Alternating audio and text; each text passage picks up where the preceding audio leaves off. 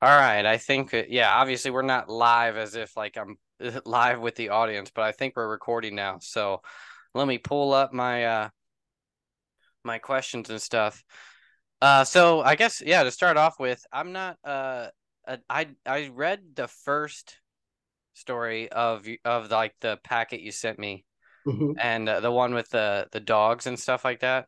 It was really good. Well done. Like I was like gonna move on to the next one. I read like the opening kind of like the hook and I was like I'm hooked by that one too, but I just had to move on to to other things. But uh I, I like first of all, yeah, well done on those stories by the way. And all the quality, all the artwork and stuff, it, it professional. So I'll get into kind of like everything about like I'll just let you kind of describe like who you are, what you do in the creative realm because most of what I'm sticking to is not like the the storylines of of anything that you're doing, but really just like you as a business person because that's hmm mainly what I focus on on the channel. Yeah, for sure. Which is So is yeah, if you want to go ahead. come on.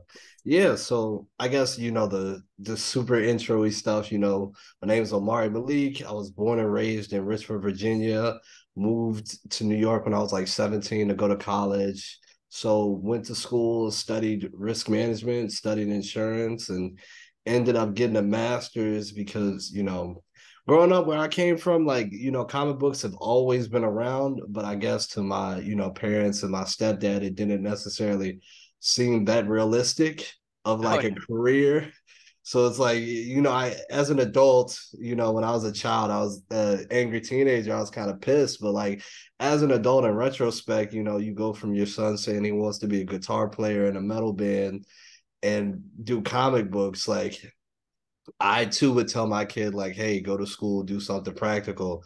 So you know, they pushed me to go to college. Ended up, you know, kind of really liking it and like really getting into the business. And you know, I was an insurance broker, so I was an insurance broker for a couple years. Worked on Wall Street, and you know, I still had that creative bug. You know, just still going going to the comic book shop every week and always trying to do it. So kind of when the pandemic hit and I was at home a lot and still working and, you know, even more annoyed with my job than before. It's like, all right, now it's time to get ready to go. It's time to really kick things in high gear. Went back to my mother's house, asked her to give me all my old sketchbooks and all the old scraps of paper that I was drawing and, you know, writing stuff on and kind of started accumulating things and getting it together. No, yeah, I see. I I always joke that sort of that's the way to do it. It's like you can always be a scientist or a risk manager and also be a comic creator at the same time. It's a bit harder to try to become a comic creator and then be a scientist on the side or, you know, like uh but at the same time I th- that brings up a question I was going to ask is like how do you balance are, are you full-time like running comics business now or your own business or do you, or are you like part-time comics full-time job or are you split So honestly, like it feels like I'm doing both full time because I still I'm in investment banking now. So I work at one of the big investment banks now. So that's like my actual day job. okay So I do that, but then I'm literally like I get home immediately.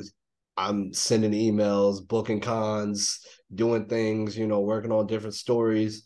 And like a part of my business, I also, you know, do books for other people on their behalf. So I did a book recently for the NBA and my friend's clothing brand Hypeland. So I'm project managing and doing books like that. Also, you yeah know, you're good yeah you're definitely i would call that like full-time on both i'm i'm yeah, essentially in the same boat yeah At- my day job is I manage a hotel which takes up more than eight hours a day and then on and then i spend yeah almost every spare moment after that aside from uh with my family is like trying to do this comic and movie business stuff. And yeah. it's So like it's pretty much impossible. You're just like dang i'm all, you're always behind Yeah, it's always on. Like I'm one of those people where I'm always writing in my notes. I'm always getting an idea, or it's just like, oh, that'd be a cool title. That'd be a cool name for a character. Yeah, So it can't it doesn't stop. Like I yeah, cannot just not come up with stories in my head. That's why like I, I tell people I focus on the business because it's like if I talked about writing or stories, that's it comes naturally. I don't even think it's just yeah, always happening. Like I'll talk forever on that stuff. But like when it comes to marketing and stuff, that's the stuff where it's like the little bit of time I research and talk to other people that are doing it right. So with that uh, said, let, I'll just jump into the questions I have for you. Yeah, for sure. Um, so I, the the simple one is uh, so the comics that you have, you have is it how many comics do you have like in print right now? So technically in print right now, there's the three originals and then the combined graphic novel anthology. And uh, you know, since we're talking the business side of everything, one thing I wanted to do coming into this is like being a creative and being somebody that's like has a million trillion ideas. Like I wanted to come up with something that would show the different aspects of myself as a writer and really put forth the you know the idea that like listen this is a publishing company. Like i'm not just a writer that's like self-publishing his own titles. Like this is a legitimate publishing company. Yeah like, yeah my three stories are different. You know, I, I tell people that basically these are pilots. So the first three one shots are basically pilots to give people not only an introduction into who I am as a writer, but like what you can expect when you come into this and see Blacktooth Publishing. It's like we have a manga, we have one that's kind of cinematic or one that's like kind of like a drama, and then we have one that's basically, you know, the teen story, the one that you would see on like Nickelodeon or Disney Channel. You know, it's different things for different people, but it's essentially a line in itself. So, like I said, it's the three one shots and then the combined anthology featuring all three. Nah, got gotcha. And have you did you uh raise funds for those or Kickstarter them at all or anything like that? So I did a Kickstarter, not really to raise funds, but just to use Kickstarter as a platform to get the books out there to a lot of people. Yeah. I know people use Kickstarter to, you know, promote and things like that. So I did a Kickstarter towards the end of last year. started in October, kind of ended in November. So I did uh the Kickstarter goal was like I said, just to promote because the books were done. I had already been selling them at conventions, but like I said, just to get things done. I think we did like 5,700 on Kickstarter. So, oh, well done. Yeah, yeah, for sure. um, what company did you use to print your comics? So I, I do Comic Wellspring, man. Like they're, they're okay. great people. They're so nice to me. They're super dope. Like to the point where it's like when I was doing at this point is you know I just pick up the phone, give them a call, and they're like the nicest people ever. Nice. Okay. Yeah, I I know them now. Uh, you're the second person that I've talked to that has um used them. In fact, you're the second person I've interviewed live. I just started doing this. um, but so what have you done any other YouTube channels or podcasts? Uh, so yeah, I've done a few. Um, when I was doing a Kickstarter, that's when I was doing a lot of press. So I was trying to do press then. So I did. Uh, shout out to my friend BJ from his channel, Comics Are Dope. That's really well. Did some advertising on Cape Joel. You know, shout outs to Joel. He's super nice guy, and a few other like smaller podcasts and things like that. Okay, yeah, nice. I'm trying to gather up a list now um of just like the those that people recommend that people have been on, especially like indie creators like us and um so that I can just like have a you know whenever like someone is is like when you're going live everybody just kind of wants to do everything. Yeah but I feel like if you have a strong list then you can kind of pick and choose or like coordinate out uh, but anyway yeah so I'm just like trying to gather a list from everybody.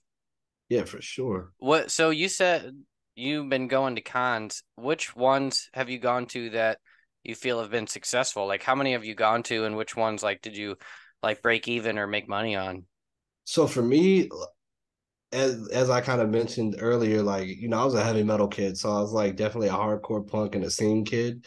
So from my perspective, like you know, me going to cons, it's literally like being in my old punk and metal bands, and it's like nobody came to see us, but we're here to put on a show. Like we're here to be seen, we're here to be loud, like we're here to get attention. So to me, I've looked at every con as kind of successful. Like you know, from number standpoint, like I'm looking at it as like, listen, if I come home with no books, that's a win. So hey, yeah, for sure. And, and sometimes the success, yeah, is like especially at the beginning, you're like kind of front loading, just trying to get your your brand out there. It's, exactly. it's like it's it's it's basically in itself a a marketing uh upfront cost. Yeah, for sure. But uh a list of cons I've done so far, uh I did Baltimore. Um, I'm originally from Virginia, so I do VA Comic Con. Uh, this year, this year I've been really going really hard and trying to do a con a month. So I did Heroes. Whoa. Yeah, so I've been trying to do a con a month. That was the goal I set out for myself. So we did Heroes. We did Eternal on Long Island. In like two weeks, I'm going to be in Chicago for Fan Expo. doing Baltimore again in September, New York Comic Con in October, and we're doing LA Comic Con in December. So nice. Is it hard? Like uh, some of those big ones, I thought it. You know, you kind of have to apply, and they may not accept you. Were there any ones that you were denied to? Like, isn't New York Comic Con a bit harder, or is it just one of those so, where like you need you need they ask for a lot of cash or something up front? So yeah, New York Comic Con. Ironically, last year I applied to New York Comic Con, got denied, and this year they reached out to me so they like reached out to me to participate in like kind of being a small press section so you know kind of like one of those 360 you know those like wow they, moments are you able to argue that you're like a local and that means anything more at all I, I I'm sure they could. I I didn't necessarily because of the fact, like I said, I got reached out to. Like they were. Yeah, that's awesome. That yeah, so they came to you. So, yeah. Yeah. See, I was at New York Comic Con last year, but my, my publisher invited me, so I didn't I didn't like go as like to uh, apply for a booth or whatever. But I remember whenever I was like researching, trying to tour, I'm actually thinking about touring next year.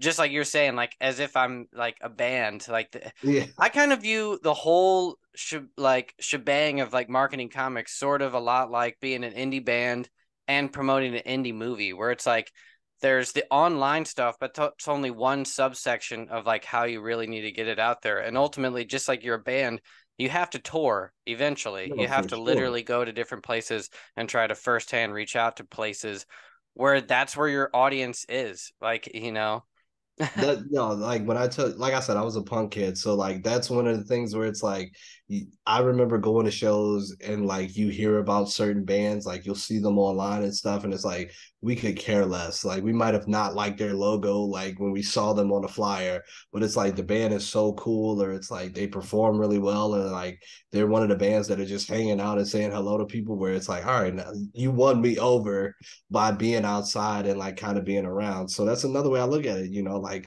I don't let anybody walk past my table without saying hello to them, and you know, even if you know don't buy something, it's like, hey man, like having that moment of connecting with somebody and for the people that do, you know, showing them a bunch of love and appreciation, like it goes a long way because it's like those are the moments that stick with people forever. Like yeah, you know, uh, I I think I have this question later down the line, but I'll like bring it up to the front because you seem like someone that has just sort of natural charisma or something like to where it's not as hard for you to basically sell books at a con.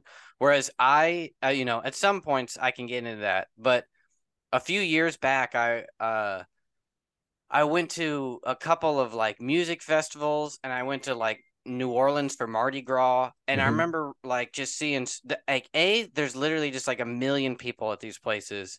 And there's people that just sort of like naturally they have a backpack and some books and they would just be selling like you know it's not all just like selling like illicit drugs or whatever. Like yeah. there's some guys that are just like they sell artwork and stuff and people that are selling like books and comic books and they were just like s- selling $20 a pop no problem. And i was like what? Like maybe this is like a whole route that like as i started making comic books nowadays i was just like i guarantee there's like somebody that has sort of tapped into that market. Is there anything, especially being like in New York, are there like non-comic related communities that you're a part of or events or kind of like festival kind of things that go on that you've tried to like sort of uh latch into that world and not just like cons?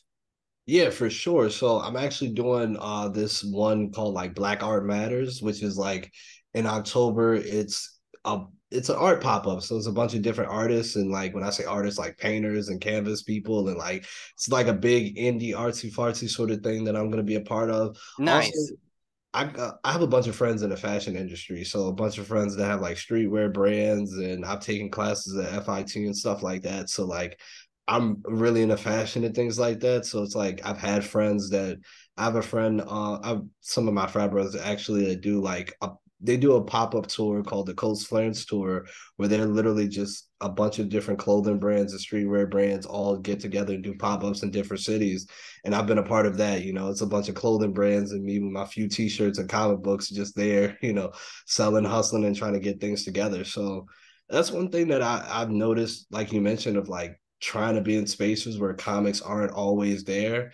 And it's helped out, you know, ironically, because it's one, it's like I'll get the people that are that come in and like, oh, I used to read comics when I was a kid, and like, oh, this is kind of cool. Like, I want something, or the people that have fallen off from comics, and they're like, wait, they still make these? Like, hell yeah, I'll check it out. So, you know, it's it's less competition being in those spaces, which is why sometimes I like it because it's like I'm the only one here. I'm not, you know, like everyone else trying to beat you over the head and saying, hey, check out my book, check out my book. So yeah, I, yeah, for sure. That that's why a lot of why I kind of like. I have a grander vision in that we can sort of not not bring back comics, but just re-expose like that they are still a medium that people care about. It and uh, because I've I've made jokes to where if people that aren't necessarily into comic books or even often are just like they still make comic books or like yeah. like graphic novels are a thing and it's like yeah they're, they're actually a pretty big deal um but it's like to someone that's outside of this they only know like movies and then and so like like to them they don't distinguish me from you from Scott Snyder from you know like it they're we're kind of all just like lumped together because they're just outside of the space. So it's it's just like once you're in the community, it's like you actually feel like you have merit in it. That's why like it, once you're like making comics, it's like once you have something out there, it's like you're in. You know, like yeah. it's kind of like, and then as long as you want to stay in the game, you can be. And there's plenty of us that are like gathering, and the more of us that are that are there, and the more of us that are like actually putting out quality, it just grows the greater community. And not, it's not like we're just some kind of sub subgroup of a subgroup. No, definitely, definitely. like, like you said, man, trying to like grow this thing, and it's one of those things where people like, how are you gonna make comics bigger? Like everybody knows Superman, everybody knows Batman. It's like, yeah, you guys know them, but it's like, I uh, funny enough. So I live in Brooklyn, and I have a comic book shop, literally like I want to say ten minutes away from my house. But it's like I'll have friends that come over, and they're like, wait, there's still a comic book shop near you? Like they they don't understand it's like literally in the neighborhood or even like like I said, I, I work in the city, so it's like, you know, I, I'm pretty much working Times Square. And it's like there's Midtown Comics right there that have three locations. But it's yeah. like people don't know, they don't understand that like this stuff is right here, or or even the fact that like you can go on. A, I I was in Target the other day and I saw the Batman '89 graphic novel in Target. It's like this stuff is here. It's just like we're trying to figure out how to get everybody to like recognize it when they see it. Yeah, that's what's really crazy. Is it's it's a part of everyday life and culture, and yet people just don't realize that it's yeah, yeah like you said, they just totally glimpse past. It's the same way that like I don't notice that there's light bulbs in Target. You know, like just some yeah. some people just it's just not a part of their world. Whereas, uh, but anyway, uh, I are you uh do you have any books in physical stores like do you like that comic book shop in brooklyn did you were you able to convince them to put your stuff on the shelves yeah, so my local shop, you know, we're we're getting in there. So I kind of I've been hesitant when I say hesitant, like you know, I wanted to have obviously like the release first, and you know, but the owner, you know, shout outs to Bulletproof Comics, the owner Hank, he's a super dope guy, super nice. Talking to a few other local shops around Brooklyn and things like that, and even back home in Richmond, like the comic shop that have seen me grow up, trying to get in there and stuff like that. So for me, my uh, I don't want to sound crazy, but like I'm super protective of my stuff and kind of like being one of those people that's like I, anybody that I do business with or you know I put you know I'm around you know I really want to put the boots to the ground like I really want to be invested I really want them not only to promote them but I want them to you know be actively engaged and you know want to sell my books as well you know I've seen so many books just live on the shelves in shops and people walk past them but it's like I want to, you know, I want people to buy these. Like, you know, I want people to check these out. I want everybody to be invested and engaged here. I, I, yeah, I 100% feel you. And I've actually like, I kind of I'm working on a nonfiction book that's basically with the sole focus that under like seeing comics as an empire and not just a story, and how like you like the, your three stories that you have there, those could be massive IP if yeah. if you like go through it, like if that's what you want them to be. And uh and there's steps that you can take step by step to to make that happen. And it's not that crazy It's and like it's it's actually like kind of the sole focus is is ultimately like how you as an individual and your friends can grow to where like you your what you think is some little story can actually be uh, uh the future of entertainment going forward. Because not only i think like can can it be done with con- like i think like specifically with like comic books and independent comic books and creator owned stuff is one of the almost like best fast tracks to go if you have a story in your head it's it's uh like with so much going on as far as like the changing of of you know into streaming and how web to- you know like web comics are becoming bigger over here and just in general how much manga is coming back into full swing and, and like along with just all the transitions of technology and stuff like it's now easier and you have like more power with the internet going on to where you can take these comic books and like actually make them into not just like oh i got a publisher and then i got some kind of deal. Like you can call someone and be like i will hire you to animate this story you know? And like you can send it like there's like you can be the person that takes every step. But anyway i don't want to go on a tangent about that. No, so uh good. uh what um I guess what's your primary now that the what's the main form of distribution that you use to get your books to your audience? Do you have a website? Do you is it uh, going to cons? Is it physical stores? Uh, yeah. So the main distribution. So I had the official like release, um, two weeks ago now. Yeah, it's July twenty eighth. So on the fourteenth we had the official release. So there's two methods. So for digital comics, they're on my website, blacktoothpublishing.com slash store. So that's where all the digitals are. And for the physical books, we're on Amazon. So it's kind of like as of right now, as far as like online sales, like Amazon exclusive. So and I'll be sure to send you the links for everything. But yeah, yeah, for sure. And I'll put them in the, the notes and uh the description. Um what have you do you do any kind of like online advertising, Facebook ads or Google ads or anything like that to kind of or like funnels or whatever? Uh not yet. Like as far as like the ads, like me, I it's been a lot of me, you know, putting in those putting the boots to the ground. So a lot of obviously posting on my Instagram pages and things like that. I'm a part of 10 million Facebook groups for comics and black comics and things like that. So making a bunch of posts and asking people to check them out. Um, when I did do the online release, I kind of had a I convinced all my friends and family to kind of do like a media blitz. So it's like, listen, I need everybody to post this. Everybody, here's some pictures. Everybody shared. Here's the link. So you know, kind of swarmed social media with like all my friends and stuff like that. So hitting the ground running. Uh, a little bit of promo with my friends that are in into fashion, you know, because they have a nice followings and asking them to post and check me out and things like that. And then doing the stuff like this, you know, um, trying to do the podcast, trying to get the write ups and things like that. Nice, yeah. I mean, yeah, there's there's so much that can be done. It's like it's hard. It's like it's awkward where you're just like any downtime I have, I'm just like, I know there's things that I could be doing right now. But then whenever you always feel like you don't have time. Yeah, for sure. And then for me, it's like it's one of those things where it's like, you know, the books are so fresh. So it's like I want to hold off on certain things to like keep giving them legs. So it's like, you know, I don't want to front load too too many things. And it's like I want to get to a point where it's like, all right, once I've exhausted all my methods, all right, that's when we'll turn on the ads. That's when we'll do this. That's when we'll do that, you know. Yeah, gotcha. How um what specific like I guess you don't have to just like name them all off, but is there like a, a few specific Discord groups or Facebook groups that you're a part of where you actually like went from zero to a lot of engagement or like that you're like you feel like you're a strong part of now?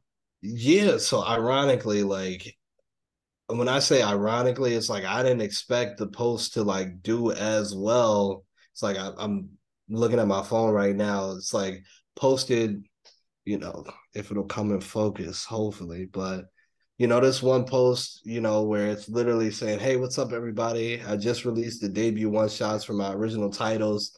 200 likes in this one group called the Blurred Brigade. Whoa, nice. Yeah. 200 likes is, yeah, that's pretty up there. Um, I clicked through a few other ones. Just the Blurred Brigade yeah, the Blurred Brigade. Um, is that an indie comic thing or is that something else? It's just like a nerd group, like a like a nerd group. Like like I said, when I say I'm in so many like comic book groups and just like so yeah that's what i was gonna ask next what groups are you in that are like outside of comics like that you can that you are sort of like also a part of a niche group so you say like nerd groups are you part of like um, yeah, like anime dis- anime discussion groups. Like I'm a big anime head, so well, especially my boxing coach. I box on the weekends, and my boxing coach is like heavy in the anime. So okay, once we once we're doing training sessions, like my boxing coach has convinced me to at least watch like five or six animes because every time we have a session, he's just like, "Hey, have you seen Vinland Saga? Have you seen Doctor Stone? Have you seen this? Like, yo, watch this, and then we can talk about it next week." So, you know, like a bunch of different anime groups like this one um connecting comic book artists and writers and publishers 150 likes there. Nice. Um, black comic creators a bunch of blurred con you know like 250 likes there and black anime nerds 500 likes there. So and those were just the initial posts where like i said i didn't expect them to kind of do so well when i was just making the first announcements and you know some of like just anime nerd groups and things like that so.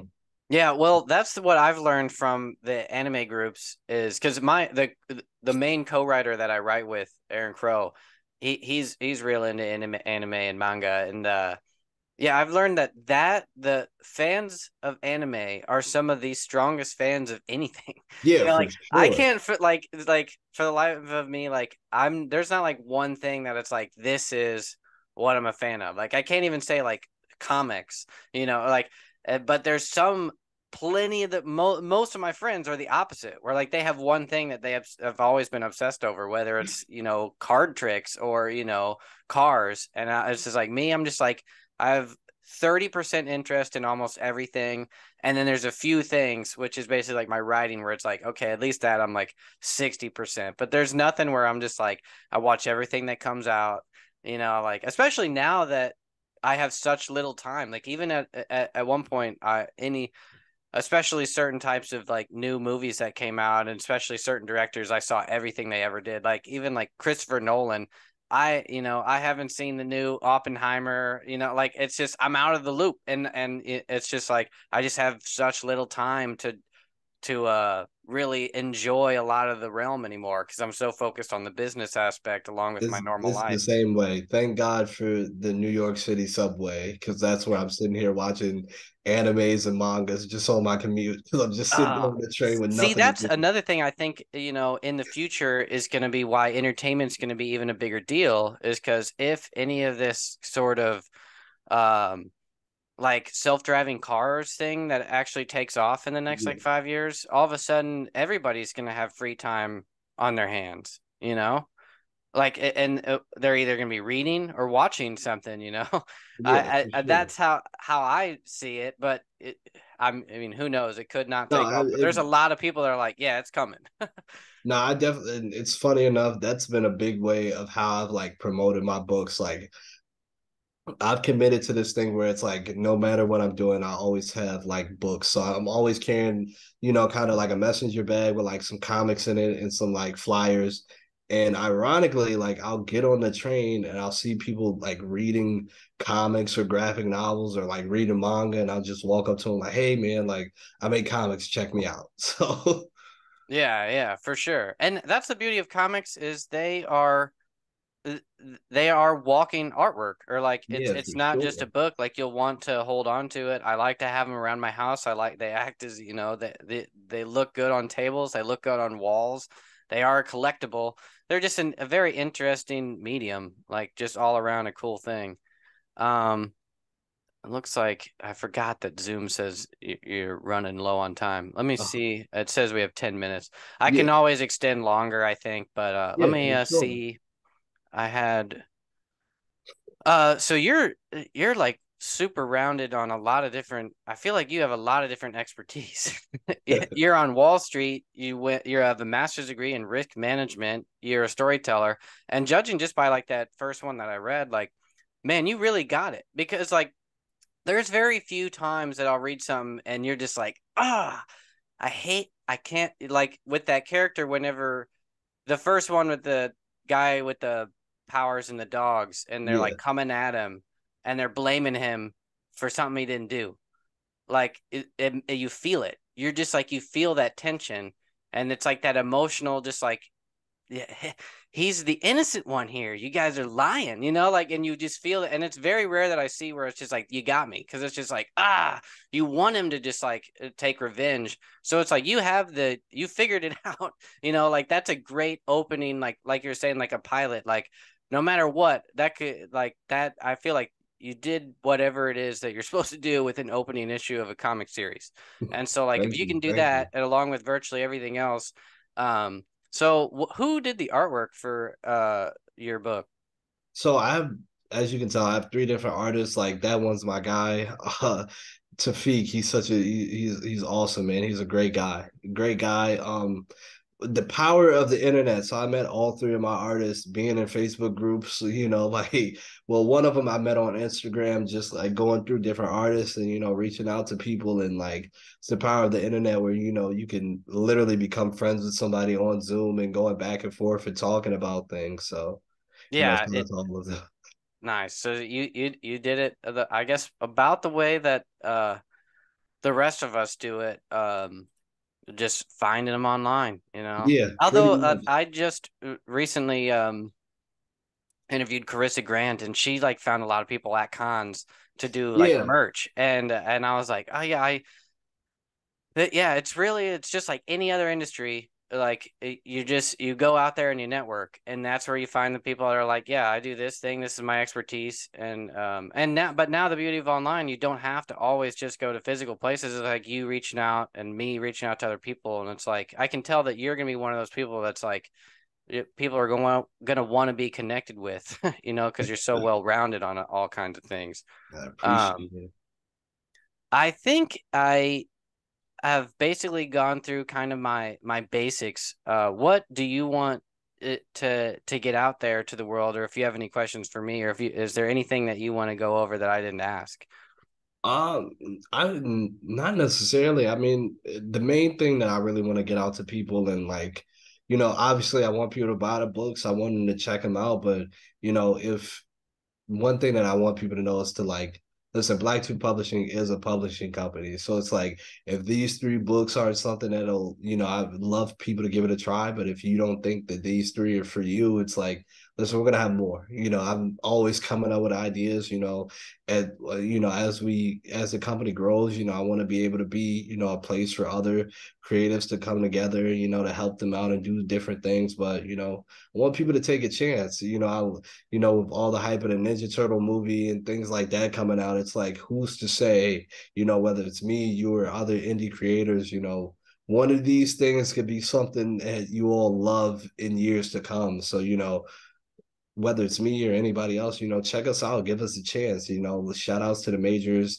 you know, all the big companies. But it's like a lot of people don't rush to buy the key issues when they're right here in your face now. Like, don't wait until you see season three of the boys to, you know, try to go buy the dynamite editions. You know, there are indie creators at all your favorite cons. You know, there are indie books in those local comic book shops that you go into. You know, check us out, give us a chance. You know, yeah, it is one of those things where I like to tell people where I'm like, do you remember whenever you were younger and like you like you were saying when you were in like punk bands and stuff and you yeah. actually could hang out with the the people in the bands and you thought that they were like the coolest thing in the world. Oh, it's I'm the same with indie comics. Like you can be a part of that world. You know? It, it's so crazy. So I have uh I have some guys that like I was in the scene with uh this big band now called Bad Omens. And yeah, I know them so Bad Omens is from my hometown in Richmond, and I remember when they started the band. I remember when Noah started hanging around in the scene and coming around, and it's like, holy shit, like Noah's huge. Or even like if you think about a band like Turnstile, like I grew up in Virginia, and Turnstile's from Baltimore, so it's like I remember seeing Turnstile play a house show. Yeah, yeah, that's a, yeah, living room. Those are some of my best memories. Yeah, I look like, at it and I, I describe it now as like you can be like that is basically like the equivalent to investing in like investing your time and infatuation with like something that it's the same with like comics where it's like or you're investing in a relationship if you actually like join this community to where it's like yeah. just like bands to where like people travel and and like go to see certain bands and you're with the band you're kicking it with them they get bigger and like as they get bigger you get bigger in a way and you know Sure. that's like how people end up becoming uh, anyway yeah i could go on tangents about that stuff too because yeah I, I used to be in like a pop band we or electro uh, or something is what we Yeah. called ourselves but yeah it was like uh but it just such a great time and it's a great comparison because just like now it's like i'm in the indie community there was a time where we all wanted to be in like the indie band community Yeah. and uh we didn't realize because we were so young that what they were doing is not that crazy No. you know it's just a grind you know to us it seemed like they were rock stars but in reality you, you know al- although they were like rock stars it wasn't like this grandiose thing that we all thought it was. It was really just like they were kicking it barely making any money just doing what they loved until they you know until they had to give it up or they became big or whatever. Yeah. um it says we got two minutes left. What uh what's your website again? So blacktoothpublishing.com, you can find everything there. I do a bunch of updates to the news section so to always keep people up to date on what I got going on. So blacktoothpublishing.com for everything. Instagram at blacktooth publishing, uh my Amazon. I'll give you guys a link to my Amazon author page, but it's like Amazon slash author slash Omari underscore Malik. So What's the You know- main book that if someone just looked up you, like your name or your publishing that uh like on Amazon, what's the main book that people can buy? What's it So if you if you type in Blacktooth Battalion, that's like my Amazon analytics since launching two two weeks ago has told me that most people are buying a combined anthology that has all three. Yeah, for sure. Yeah. Yeah. That's what I would buy. Yeah, so that's the one. If you type in Blacktooth Battalion, it'll come up, and obviously, as you're looking down on the Amazon page, it'll show you the individual ones. Also, have merch on Amazon too. So if you just search Blacktooth Publishing on Amazon, you'll see the books, you'll see the t-shirts, you'll see everything. I gotcha. And if you have just like a um uh, your own like press release or whatever, all the links and stuff, send them to me and I'll put Yeah, them for in, sure. into the thing. What's uh what's like your next step? What's your what's your like kind of like next big goal to sort of branch out and and bigger audience? Is it just more of the same or do you have like a specific thing where like I have my next book and I'm trying to collaborate with so and so? So I so if if you know the real next thing is like from a business standpoint of like being a business person, it's like man, I need to I need to do do a book. I need to write a book for one of the majors strictly just to get that clout because it's like I know I can't help but like I know how people operate and I know once I have that little tag on a resume, it'll make everybody, you know, pay a bit more attention, but that's the one thing that I'm kind of you know trying to work out or figure it out some some way somehow. But the real thing is like you know I'm going hard. So the next thing is like obviously I told people these are pilots, so we're gonna take them to full series. We're gonna put them out. We're gonna keep pumping. Gonna keep doing more stories and you know try to make black Blacktooth huge. Right on, man. well, well done. And thanks for uh, coming on. And I'm going to try to get you on again. All right. awesome. Thank you for having me. I really appreciate it. Yeah, for sure. Thank you. I'll catch you later. For sure. Bye bye.